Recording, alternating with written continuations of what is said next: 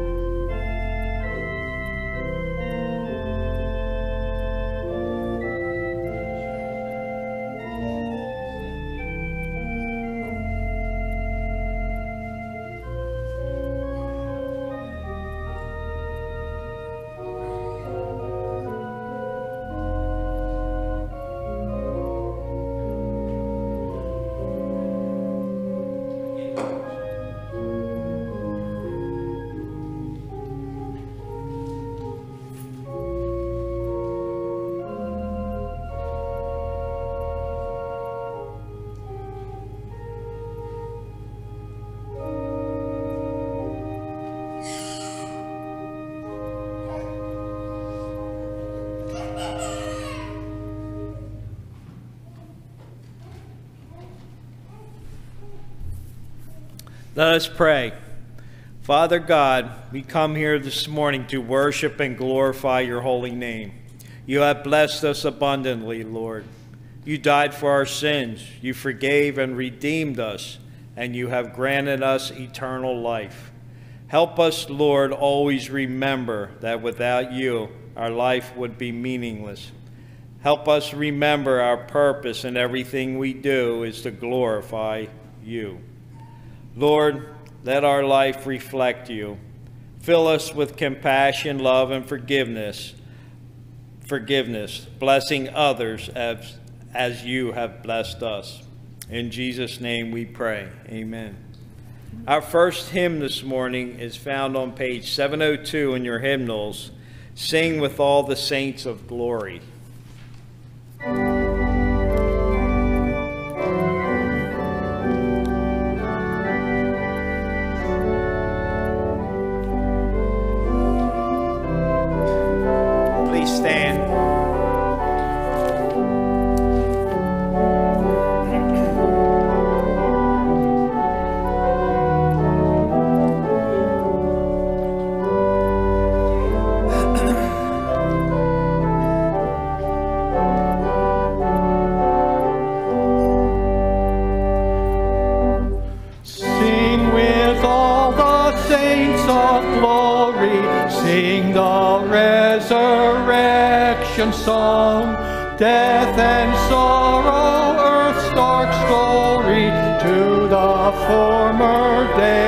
to long. All, all around the clouds are breaking, soon the storms of time.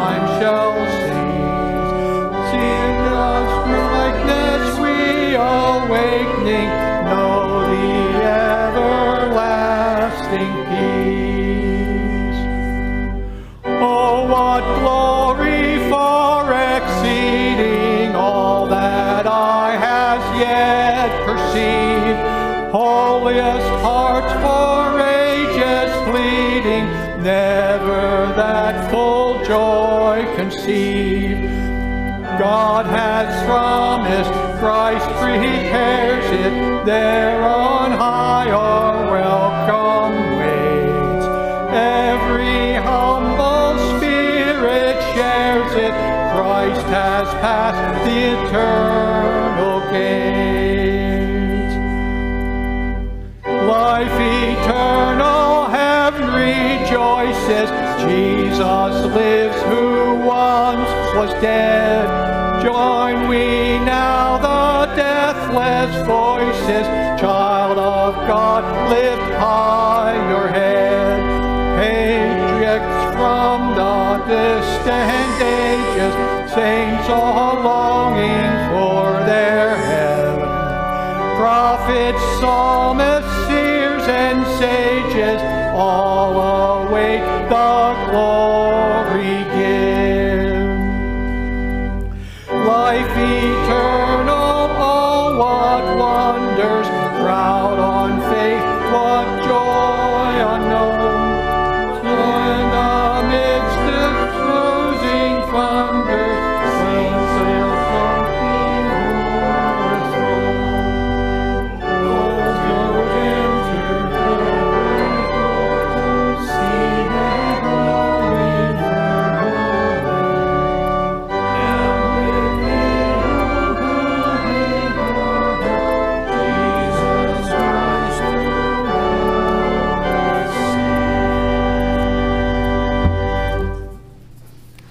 seated. Let's pray together.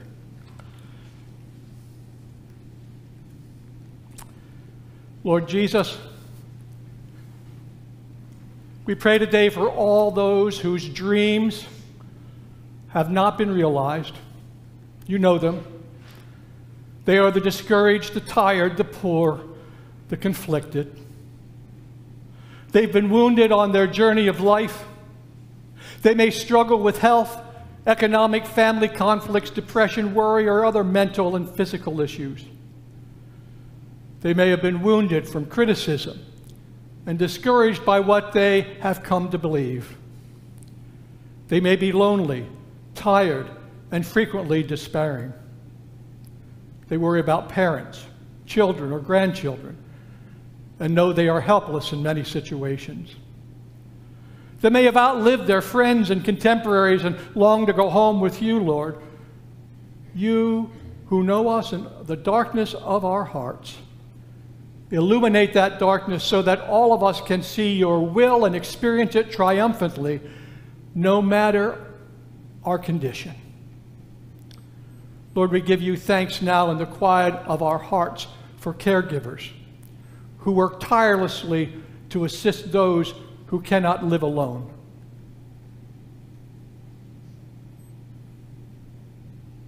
We thank you for your presence with those who reach out in war torn areas to bring comfort and hope to a ravaged population.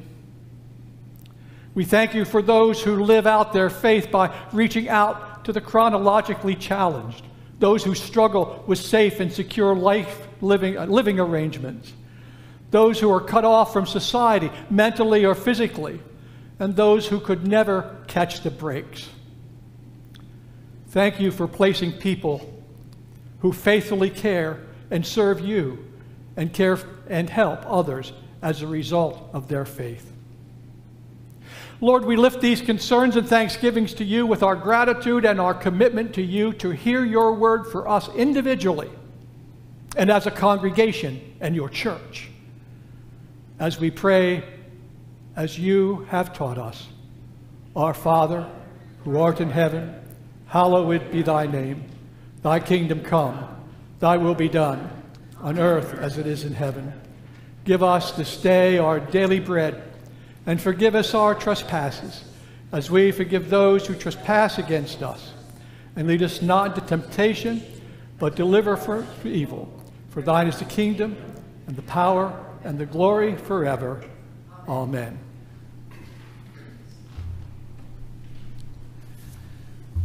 Please stand and join me in reciting the Nicene Creed. We believe in one God, the Father Almighty, maker of heaven and earth, of all that is seen and unseen. We believe in one Lord, Jesus Christ, the only Son of God, eternally begotten of the Father, God from God, life from life, true God from true God, begotten, not made, of one being with the Father. Through him all things were made. For us and for our salvation, he came down from heaven, was incarnate of the Holy Spirit and the Virgin Mary, and became truly human. For our sake he was crucified under Pontius Pilate. He suffered death and was buried. On the third day he rose again in accordance with the Scriptures. He ascended into heaven and is seated at the right hand of the Father. He will come again in glory to judge the living and the dead, and his kingdom will have no end. We believe in the Holy Spirit, the Lord, the giver of life, who proceeds from the Father and the Son, who with the Father and the Son is worshiped and glorified, who has spoken through the prophets. We believe in one holy Catholic and apostolic church. We acknowledge one baptism for forgiveness of sins. We look for the resurrection of the dead and the life of the world to come. Amen.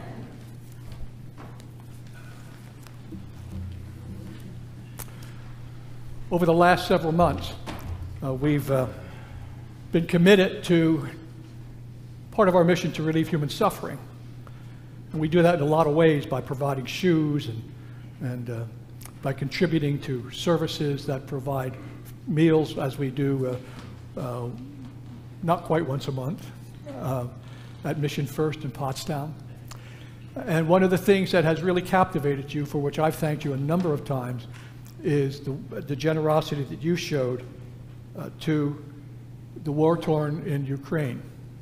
And Jeanette is here this morning to, uh, for a couple of words for us here, but she will stay with us through the coffee tower flower, uh, fellowship time. Uh, and uh, Cher will move the microphone over so we can all hear her uh, and, and hear you ask questions and whatever. and we'll, we'll, we'll, take that, we'll take that time. Janetta, welcome. Thank you very much. I want to say thank you, everyone, everyone who did this effort to help Ukraine. Thank you for your prayers for Ukrainian people who uh, fight for Ukraine, the soldiers who are wounded, and uh, your contribution was very, very important.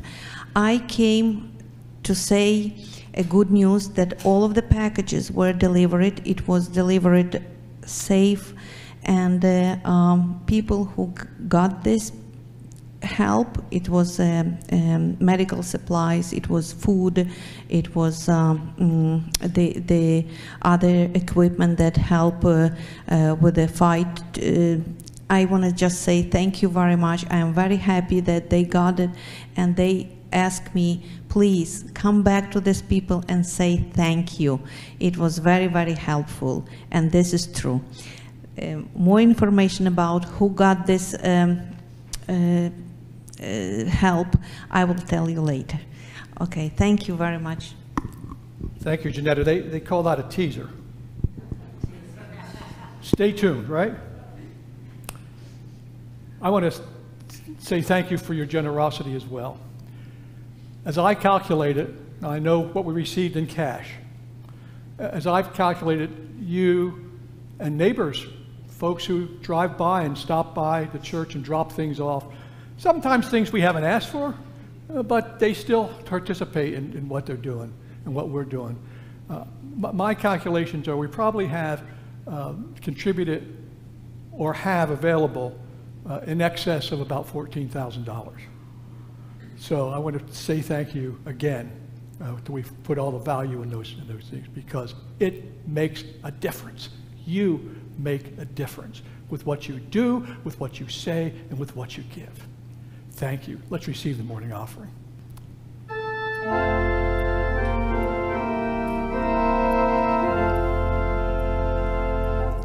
Give thanks with a grateful heart. Give thanks to the Holy One. Give thanks because He's given Jesus Christ, His Son.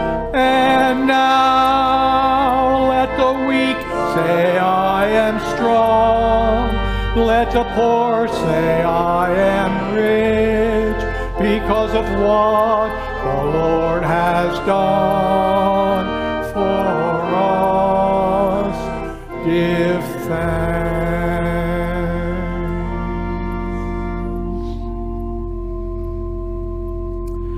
With grateful heart, O Lord, hearts, O Lord, we come and present these gifts, these offerings, these sacrifices to you. May you consecrate them. May they provide hope, sustenance, and help to others. Use them, Lord, but more than that, use us for the building of your kingdom on earth. We pray in Christ's name. Amen.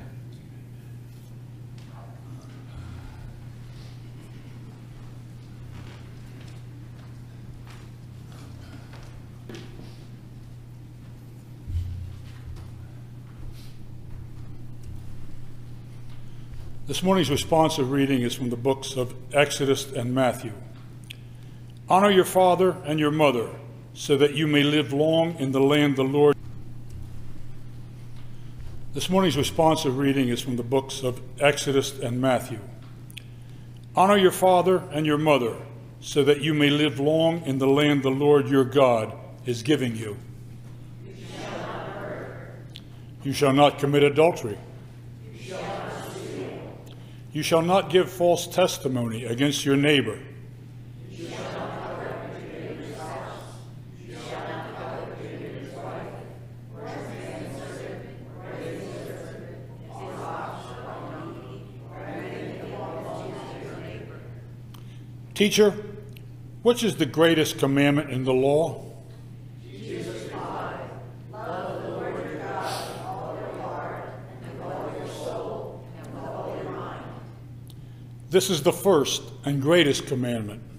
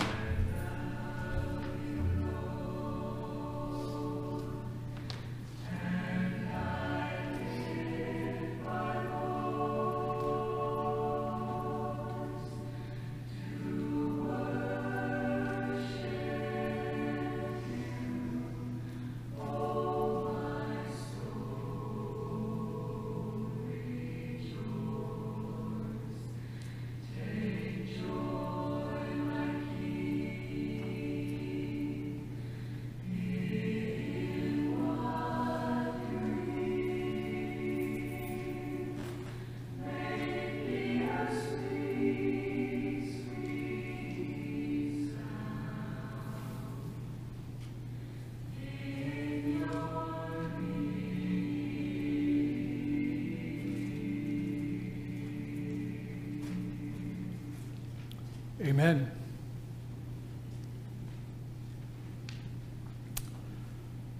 The scripture this morning is really pretty straightforward.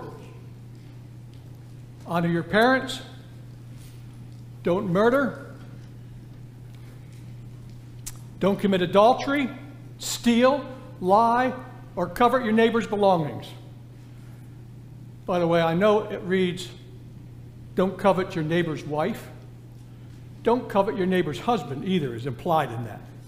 All right? We're focusing on the six commandments that inform how we behave toward other people. We're doing it in summary form, and we're doing it through Jesus' words. As we know, these instructions provide the basis for the other 600 plus laws developed to interpret and implement those basic ones in the Ten Commandments. The gospel lesson our instruction from Jesus is a little briefer. Well, a lot briefer. Love your neighbor as you love yourself. It seems pretty simple, doesn't it? So simple that I can pronounce the benediction and close the service. And you all can get over to the food. That's what you really came for, anyhow, isn't it? The fellowship. But wait, wait, wait, wait. History and the news tell us it's not that easy. So put aside the thought of getting to the food early and allow your brain some refreshment.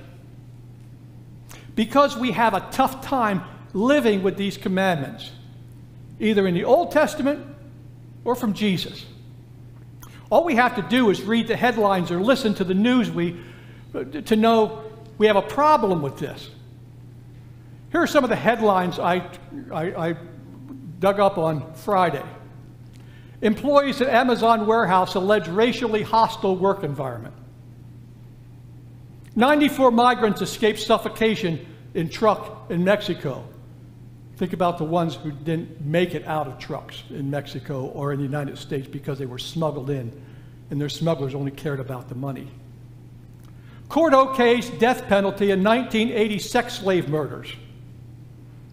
Man who sold bleach as COVID cure extradited. Priest wounded in shooting in southern Mexico. Israeli fire kills teen in the West Bank. No obvious reasons why teen killed three siblings. Dozens of Ukrainian POWs feared dead as Kiev and Moscow blame each other for the strike. Cable company ordered to pay over $7 billion in damages to a family of Texas grandmother murdered by an employee. Turns out the cable guy visited the home the next day, off duty, the home of Betty Thomas, age 83, for a service call. One day, the next day he went back in 2019, robbed and killed her. Now, now, these are just a few of the headlines. There's still mass murders at schools, malls, and churches. There are stories of people abusing cashiers, flight attendants, wait staff, and harassing others with slander, demeaning, uh, name calling, generalizations, and other self centered behaviors which rob others of dignity. And I'm confident that all of us would agree, well, maybe most of us, that they are wrong, and we wouldn't do that. And those who do such things need to have their come to Jesus moment. And some of the people doing these things, tragically, self identify as Jesus followers. But if we do an honest inventory of our thoughts, our temptations, and our attitudes, I doubt that any of us could honestly say we're not in that group that needs self examination. And I must admit that my thoughts and desires are not always pure. And my faith constantly challenges the temptations to dismiss people who hurt, frustrate, or sometimes disagree with me. I'm reminded of that 1960 sign if you were on trial for being Christian, would there be enough evidence to convict you? I also believe that if many who say they are Christians were on trial, many would be acquitted for lack of evidence. The Oxford Holy Club, started by Charles Wesley, moderated by his brother John and convert George Whitefield in the 1740s, knew the nature of temptation. So they produced what we shared with you a couple of weeks ago 22 questions for us their members, and now for us to use privately in our devotions, to reflect on who we are. As I use the list, there's always something that causes me to pause and recognize that, yes, I have sinned and come short of the glory of God. Now, here's the question have you been working on those questions? Let me ask a few of those questions for those who have not taken advantage of the discipline. As I read some of them, please just take a moment to reflect on them. Then ask yourself if you've answered in the affirmative, what will you do about it? You see, part of this commandment of Jesus is that if we don't start with our own spiritual health, what we give others will be lacking. So, okay, here we go. Am I honest in all my acts and words? And or do I exaggerate? Let's just pause there a minute. We were probably okay with am I honest? When it comes to exaggeration, yeah, maybe not. Sometimes I'll ask it as, do I overstate things? Am I a slave to dress, friends, work habits, or habits? Most of us don't have to worry with most of it, with, about the work habits. Sometimes we still worry like we work. Am I self conscious, self pitying, or self justifying? I couldn't help myself. He made me do it. We remember that from Flip Wilson. The devil made me do it. Well, in this case, probably Don made me do it. I don't know.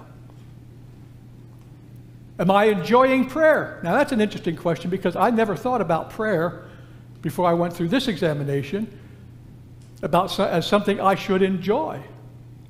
But it is our presence with God. It's our time, our private time. Are we enjoying our prayer? When did I last speak to someone about my faith?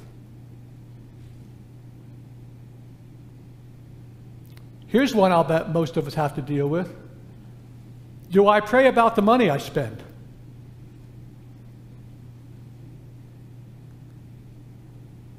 Do I disobey God in anything?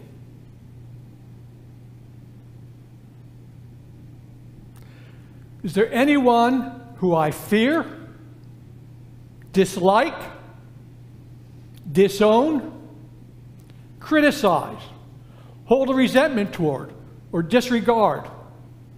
If so, what am I doing about it? Now, if you're working through these daily, you know that you don't get through those whole 22. I mean, would probably take you the whole day, and by then it'd be time to start over again. But it's important to work through them. We only talked about, we only didn't talk about them. We only lifted up eight here this morning of the 22. Now, I think for enough of us this morning, I think that's enough. I recommend you work through that list, probably not all of them daily, but a couple a day. We all have places where we can improve ourselves and, and improve our witness to Christ. So we need to work on ourselves before we can work on anyone else. And even that statement has problems. Jesus is clear that judging others is not to be a part of our attitudes or our behaviors. It says that in Matthew 7 1 in the Sermon on the Mount. Luke has some other advice for us in, in chapter 6, verses 37 and 38. He says, Judge not, and you will not be judged. Condemn not, and you will not be condemned. Forgive, and you will be forgiven. Give, and it will be given to you. Good measure, pressed down, shaken together, running over, will be put into your lap. For the measure you use will be the measure back to you.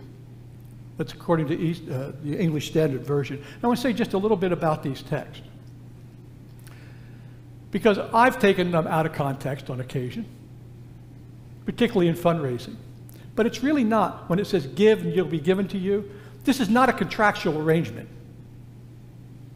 What he's saying is that generosity begets generosity. And that doesn't matter whether it's in the way we behave towards somebody or what we're putting in the collection plate. The question really is are we doing what Christ desires? And remember, we prayed earlier forgive us our trespasses. Notice the plural. In a couple of weeks, we're going to start a series on the Sermon on the Mount. And that's probably going to be, I'm sorry, not in the Sermon on the Mount, on the Lord's Prayer. And that'll probably be our study for the fall as well. Uh, but think about forgive us our trespasses. Now, I happen to prefer sins, and, and some of you may notice that when I pray the Lord's Prayer, I frequently get stuck and get it confused because I've been sinners, I've been a trespasser, and I've been a debtor. And when I get to that point coming up, and I know when I'm praying with somebody, particularly with shut ins, it's just flat out embarrassing. I'm going to have to take a card along with me with the Lord's Prayer on it because when I get to that, I get befuddled and then I stumble all over it, and then the prayer just goes south. Well, sins, I prefer sins. Forgive us our sins as we forgive, as we forgive, as we forgive those who sin against us. Perhaps the most important statement that I've ever heard made around this was two people were struggling, one of them feeling guilty about something they had done, and they approached the other, and the other said, I distinctly remember forgetting about that. That's what it takes. That's what forgiveness is and giving it. Forgetting about it. Now, sometimes it still haunts us, and we have to work through it. You know, to forgive somebody doesn't mean that it goes back to a clean slate. It means we've got to work going forward and we take those things into consideration. But we don't hold it against them. We don't, we don't beat them up for it or continue beating, up, beating them up for it. So Jesus instructs his followers to get their own lives in order and be representatives of him. Now, all of us want to be forgiven. None of us want to carry guilt around. That's why near death people often are haunted by their behavior, which they cannot fix. I've had some on their deathbeds who said to me, I've been a terrible person. And I'll talk about their salvation, and they've accepted Christ, they've accepted forgiveness. But they never really made it right with the people who they've insulted, who they've abused. And here they are and there's no way to fix that. After death, there can be no reconciliation with our family or neighbors. Though I might have my salvation, I take with me that guilt. But at death, it's gone. But until death, it can torment us tremendously before the Reaper comes. So I ask myself and I ask others and it is a behavior changing question. Do I need to make a relationship right with someone? In reality, asking that question is not enough. What we will, what we will do to make, what will we do to make that become a reality? Waiting until we know we're headed for our eternal reward isn't a time on which we can depend. Sometimes it comes suddenly, unexpectedly in February. My cousin, at age 64, almost 65, running his own business, looking forward to his first grandchild. And that grandchild was due imminently. Dropped over dead while descending a basement stairs on his job. He didn't have time to consider his end of life concerns. For him and his family, the end of life was immediate was blunt, and it was shocking. Paul in Colossians 3, verses 5 through 11, gives us more detailed instructions for living out the life of loving others as we love ourselves. Here's what he says So put to death the parts of your life that belong to the earth, such as sexual immorality, moral corruption, lust evil desire, and greed, which is identified sometimes as idolatry. He says, The wrath of God is coming upon disobedient people because of these things. You used to live this way when you were alive to those things. But now set aside these things, things such as anger. We were probably okay, most of us in this room, with the questions, the, er, the earlier events, you know, sexual immorality and all that stuff. But now we get down to the nitty gritty anger, put aside rage, malice, slander, and obscene language. Don't lie to each other. Take off the old human nature with its practices, Paul says, and put on the new nature, which is renewed in knowledge by conforming to the image of the one who created it. In the image in this image. It's him it's in him in his image. There is neither Greek nor Jew, circumcised or uncircumcised, barbarian or Scythian, slave or free, but Christ is all things and in all people. The Apostle Paul continues to elaborate on these things in various epistles. In 1 Corinthians 13, for instance, he details what, it, what he understands how members of a church, of a congregation, ought to live out their lives. He talks about love. We use that chapter, its favorite chapter, for marriage, which it has nothing to do with.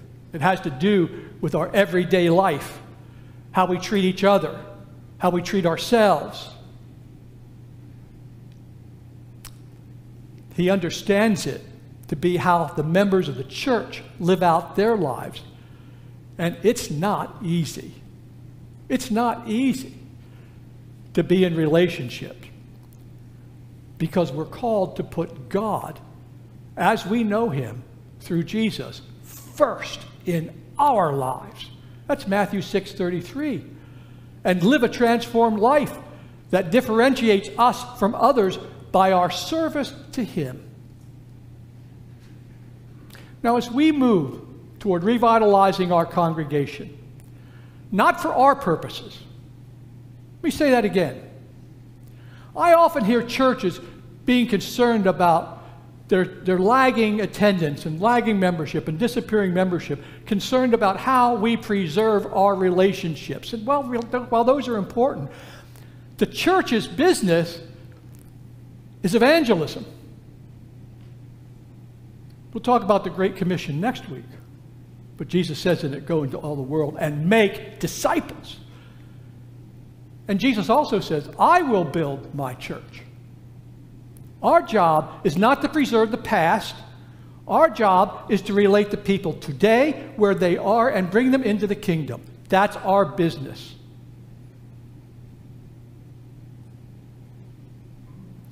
Introducing others to Jesus for their full transformation. Not simply camp followers. We don't want camp followers. We want folks who become disciples, become apprentices, as we talked about in the past, of Jesus.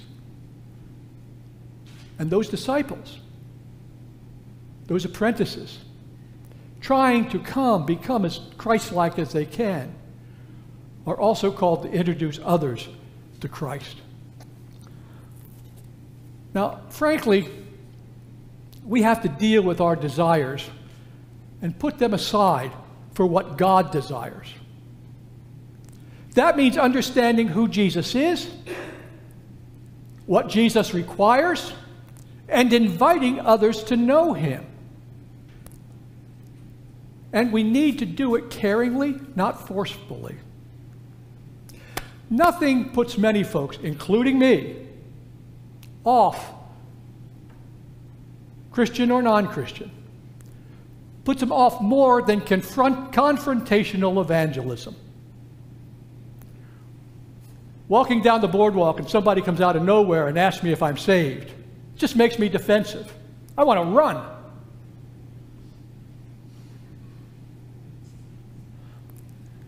And well, I suppose some people come to know Jesus that way. I don't believe it's a biblical approach. Now, I like to watch Chicago Fire. Anybody with me watch Chicago Fire? Nobody, Mike does. Nobody watches Chicago Fire. Wow. Mike, I guess we're the elite.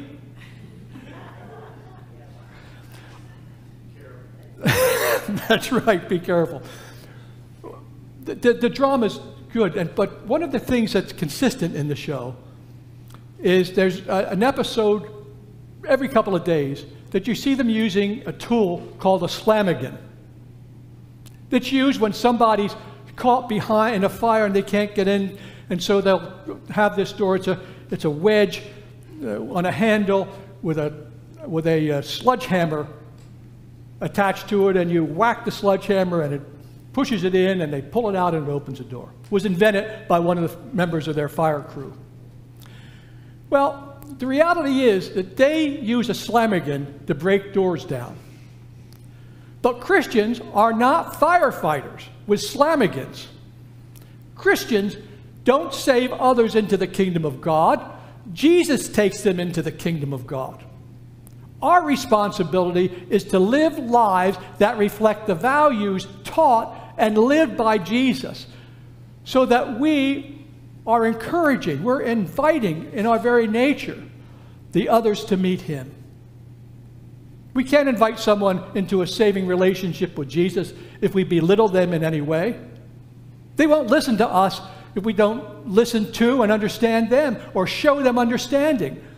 Accept them where they are and love them with all their flaws, just as we've been loved with all of our flaws. Even if they belong to the other side. When political views play to deep seated fear, we won't change minds. We can't. And while we can share with them, being pushy, loud, or dismissive only makes the gulf between us grow wider. Jesus' approach is much more effective. It's summarized in Revelation 3:20. Behold, I stand at the door and knock. If anyone hears my voice and opens the door, I will come into him and eat with him, and he with me. Even Jesus inva- waits to be invited in. John 14, 23 reminds us Jesus answered him, If anyone loves me, he will keep my word, and my Father will love him, and we will come to him and make our home in him. Loving God this way and loving humankind requires that our love of God be sincere and radical. If we love God, we will sell out to Him and naturally serve Him by loving and serving others. But too often, we stop and never reach the most important of that second commandment. Jesus said we are to love others, to love our neighbors as we love ourselves. Now, there is such a thing as correct, uh, uh, uh as corrupt self love. And it has its root in the great sins we commit. That kind of self love has, really has to die in us, putting ourselves before others. The commandment is to put ourselves on equal status. We are to love others as we love ourselves. And we must love our neighbors as honestly and sincerely as we love ourselves. But unfortunately, that kind of love often asks us to deny ourselves for the good of others. The reality that the people could care less about how much we know until they know how much we care. Let me say that again. The reality is that people could care less about how much we know. We can know the Bible, have it memorized from front to back, quote every verse. But they don't really care until they know how much we care. Therefore, our choice to obey these two commandments will mold our hearts and our lives into something beautiful that honors and pleases God. Now, as we approach the future of this congregation, the future depends on whether we put our own needs and wants ahead of serving God and modifying our thinking and doing to match what is necessary to reach others we are called to love. Are we willing to focus on how we reach others and put our needs and wants aside? The other day, Fran and I were shopping for something in a Walmart, and I decided while I was there to look for shoes. So I walked up to the shoe department. As I walked down one of the men's aisle, there was a guy looking there, probably a Mennonite, from the way he was dressed, standing in the middle of the aisle. And as I excused myself to go behind him. He moved forward toward the rack to, to make pass way for me to pass easier in the back of him. And as I passed, he turned to me and said, yeah, he had a pair of sandals in his hand. He said, I'm, I'm trying to decide whether these are a need or a want. Boy, I hadn't heard that in a long time. Are they a need or want? And I stopped and said, Wow, I don't know when I purchased the last, when the, was the last time that I purchased anything I needed. Purchased a lot of stuff I want. And that's what happens to us in church. We get comfortable with the things we want, not the things we need. And friends, that question of is this a want or a need is precisely where we need to be for the future of our Christian family known as Mount Carmel. Groups are productive not only because the group members do their specific jobs, but they keep their eye on the goal. The goal for any congregation is to be faithful disciples which may include giving up our wants for the needs of others and assisting them in their spiritual journey to find Christ. Over the next several months, what we do will matter more than it has for some time. And because all of our actions have consequences, we must be very serious and intentional about where we take this congregation. That's why we pray for the lead team every week on the first day of our prayer cycle. You wonder why it's there every week? Because the Lord has called us to do significant work.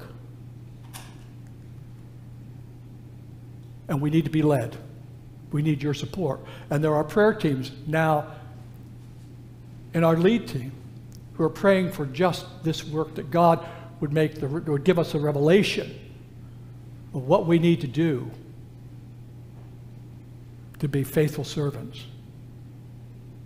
We as a team need to be sensitive to God's word and will for us.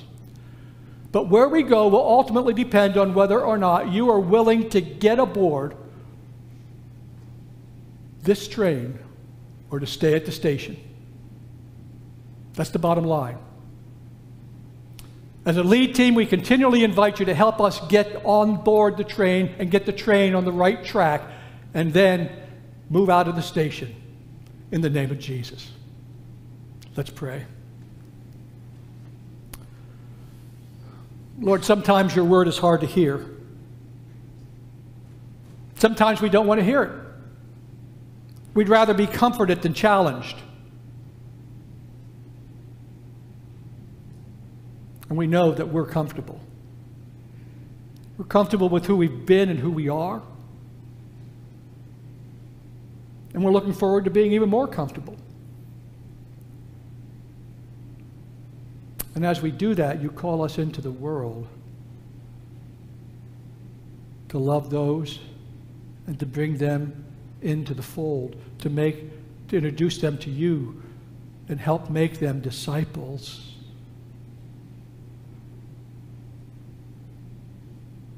Lord, that's tough. It's difficult. And we come to you in despair and in hope, sometimes with anger and joy.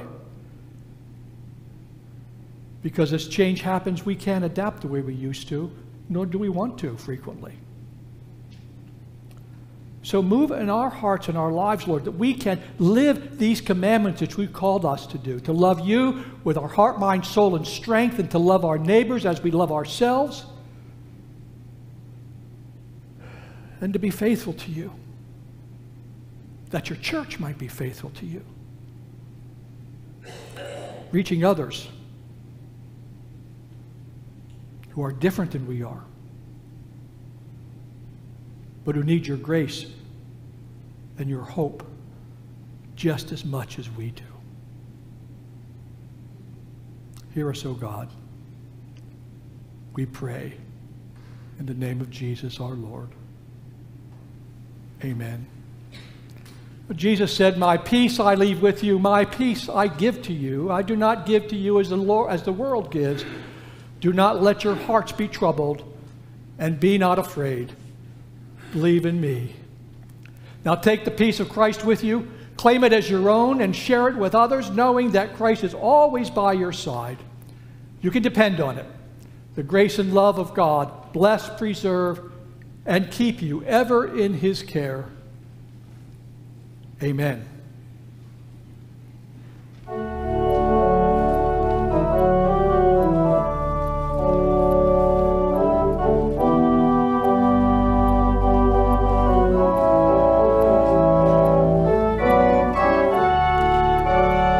Let's stand to sing.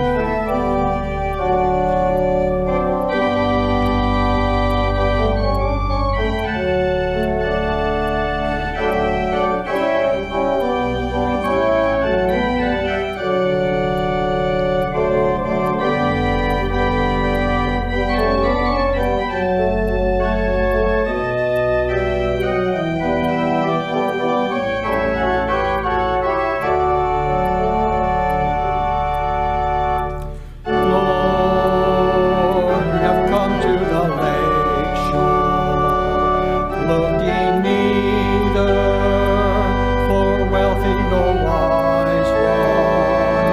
You only ask me to follow humbly. Oh Lord, with your eyes you have searched me, and while smiling have spoken.